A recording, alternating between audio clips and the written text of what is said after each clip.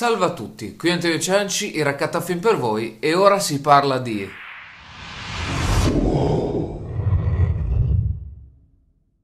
Io spero vivamente che questo video sia alla portata di tutti perché cioè, io ho aperto il canale anche per parlare di queste cose. Un autore che mi ha colpito nel profondo è stato Luigi Chiarini. Eh, ho recuperato alcuni suoi testi e mi sono ritrovato sia con i suoi gusti cinematografici e sia con il suo modo di vedere il cinema non più come arte ma come sistema, meccanismo. Andare controcorrente era nel suo stile e eh, però i suoi ragionamenti colpivano le masse. Lui nacque nel 1900 e morì a 75 anni. Fu un affermatissimo docente universitario nonché sceneggiatore di un film di Vittorio De Sica, Stazione Termini, e arrivare a questi livelli non è cosa da poco, ve lo assicuro. Ma arriviamo all'argomento succoso del video, una tesi, una sua tesi che ha voluto sviscerare il cinema inteso come architettura. Impiegati, artisti, componenti di una macchina produttiva che hanno come fine ultimo quello di formare formare un comparto narrativo solido. Da qui in poi cercherò di essere eh, blando,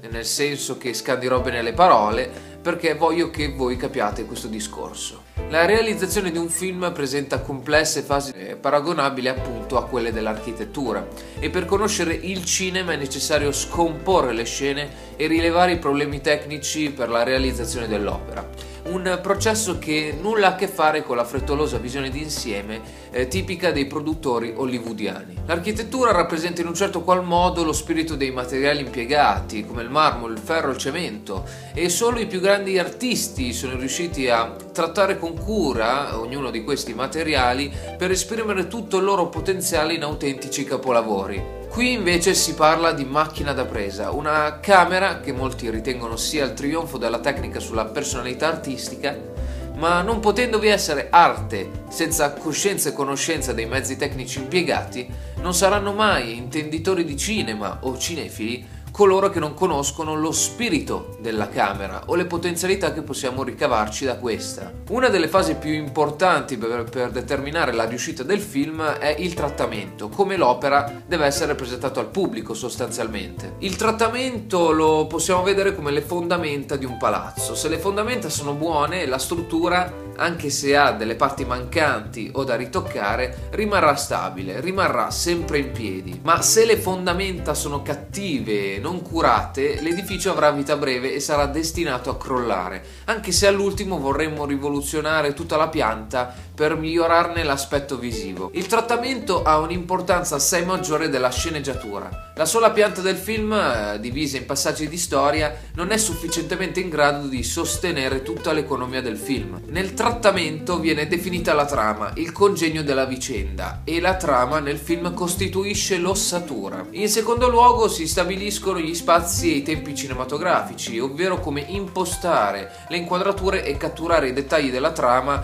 anche senza aver bisogno di un copione inizialmente. E da qui, come terzo passaggio, abbiamo la ricerca del materiale plastico, le persone e gli oggetti di scena, gli elementi atti ad esprimere il racconto e i sentimenti che muovono le azioni dei personaggi. È sempre meglio analizzare le diverse fasi dell'elaborazione filmica, appena citate, dal punto di vista della regia. Si mette da parte l'animo critico e si diventa uomo di mestiere. Il palazzo che si sta costruendo deve contenere come minimo un'entrata accattivante, la trama nel suo svolgimento deve interessare il pubblico per poi travolgerlo nei diversi piani o intrecci narrativi. Da qui il percorso si fa più tortuoso, perché una volta che hai catturato l'attenzione del pubblico, tutte le persone in sala vogliono giustamente sapere cosa troveranno in cima alla costruzione dell'edificio. Il pubblico non ama il film gratuito, vuole che sia una sfida, una continua scalata verso l'alto, vuole che esso gli dica qualche cosa a cui si stupirà o reagirà distinto, non importa. Si può effettivamente interagire col film dal momento in cui riusciamo a scorgere due vie parallele percorribili. Possiamo scegliere se seguire il destino dei protagonisti oppure non affidarci totalmente a loro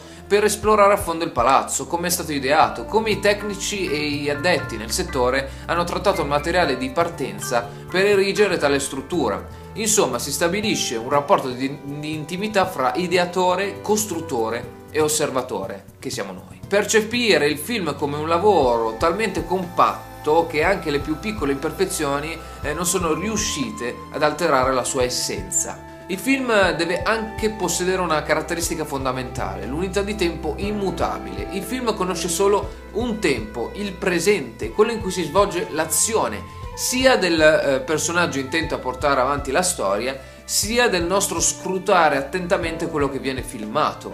Eh, lo stiamo facendo proprio in quel momento. Il racconto è in continuazione il presente dell'immagine accesa su schermo. E è un racconto agito, non raccontato. Tutto quanto il narrato fa parte dell'immagine e non si può, non si deve cadere nell'impostazione banale o generica. Le chiavi interpretative, le incognite, i caratteri dei personaggi devono essere tradotti con il dovuto apporto registico, eh, per fare in modo che lo spettatore riesca facilmente ad entrare nell'ottica del creatore, oltre che rimanere affascinato dalla creazione. E veniamo alla parte più tosta, il tetto collaudato e eh, testato ripetute volte per non lasciarci al freddo e al gelo. Insomma, il finale, l'elemento ultimo che comunica con le fondamenta del film, le due estremità unite dal percorso che noi abbiamo tracciato nel mezzo. Qui la cima deve essere conclusa senza possibilità di residui. Il tetto deve mostrarsi intatto proprio come il finale non deve apparire debole, cedevole. Tutte le azioni che abbiamo compiuto noi e gli interpreti nel film eh, concorrono a questa conclusione. Giungiamo tutti nella stessa destinazione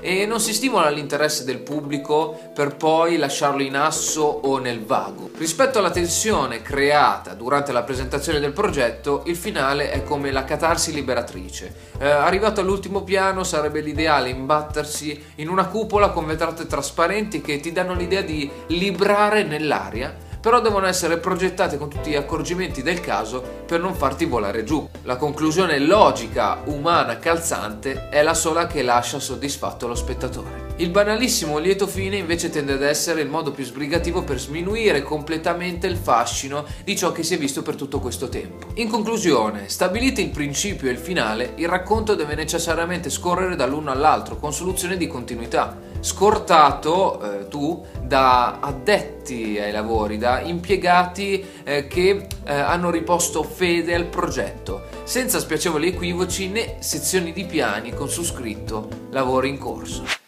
Bene, io ho cercato di essere il meno prolisso possibile, spero che questa trade union fra il mio discorso e il modo di illustrare il cinema del signor Chiarini vi abbia intrattenuto. Qui Antonio Cianci, il raccattafilm ha finito. Vi è piaciuto il video? Vi siete ritrovati con il mio modo di analizzare un film? Un ringraziamento in particolare a chi si è iscritto ultimamente, a chi mi segue e chi interviene nei commenti. Un saluto a tutti, ciao, alla prossima!